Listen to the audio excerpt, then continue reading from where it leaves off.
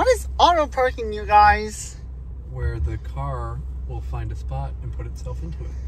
Parking spot. Yeah. I think you have to like press forward and reverse, but it does all the steering. Yeah, you have to switch. You have to shift the gears. Yeah. Underneath you though. You pull your pants up, you feeling a little hot. Oh my words. Need shorts. No California either.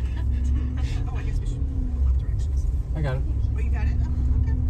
Okay. Speaking of shorts though, guess who's wearing shorts? Yes. As long as it's safe, it's pretty safe. Guess never leaving California then. No, I don't think so.